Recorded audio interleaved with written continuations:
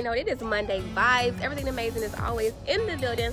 Let's hop into it. It's Monday. Let's get it. Okay, who are you? Who are you? Listen up.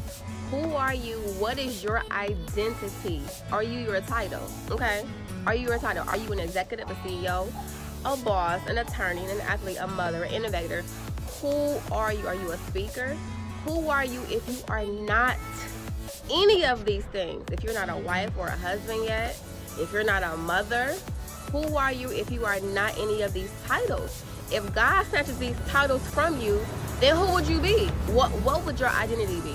Really? Like does that negate your identity, your talent? You cannot be your title. It's Monday. Let's get it. So, your identity, let me get a little closer. Your identity is not in your title. I'm gonna say a little louder for the people in the back. Your identity is not in your title, okay? Your identity is not in what you do. Your identity is not in the blessings that God give you, okay? You cannot attach, you cannot, you cannot attach your blessings to your identity. It does not work like that. Who you are, you are God's child. That's it, the end. Period. I hate when people be like, oh, so what do you do? My name is Amazyng. I do it all. Like, I am not my identity, okay? Like, I can do it all. It's Monday vibes. Let's get it. Ooh.